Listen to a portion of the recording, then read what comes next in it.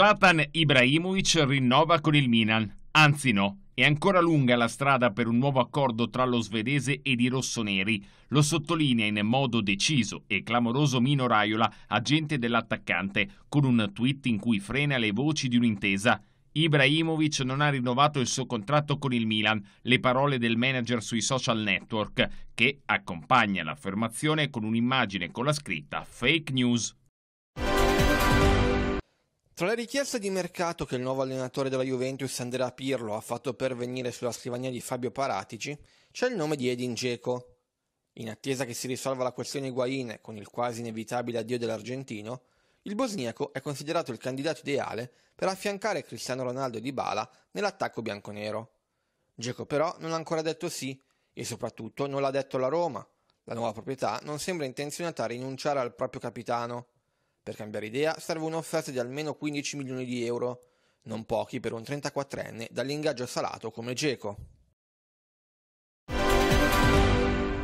Il Manchester City sta preparando l'assalto a Leo Messi, ne sono sicuri a ESPN e affermano che il club inglese sta studiando i conti perché sa bene che l'operazione sia molto complicata, ma vorrebbe approfittare del malcontento dell'argentino nei confronti del Barcellona.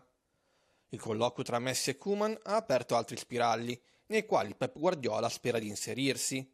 Il contratto della Pulce scade tra un anno ed è fuori discussione la possibilità che il City paghi 700 milioni della clausola rescissoria. Nella dirigenza blaugrana però c'è chi non vedrebbe di cattivo occhio una trattativa per la cessione di Messi.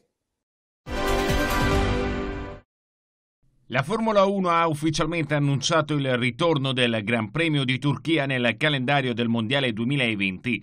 Il Gran Premio di Turchia è tornato. La F1 farà anche due viaggi in Bahrain prima di dirigersi ad Abu Dhabi a metà dicembre. Si legge nel brevissimo messaggio diramato sui profili social della Formula 1. Dopo nove anni di assenza, dunque, Istanbul tornerà a far parte del circus ospitando il Gran Premio della Turchia dal 13 al 15 novembre. Secondo quanto comunicato, tra l'altro, gli organizzatori stanno lavorando con ogni promoter per rendere accessibile a una parte di pubblico alcune gare del calendario 2020, rivisto e compresso a causa dell'emergenza coronavirus. La F1 ha anche confermato che in questa stagione non si correrà in Cina.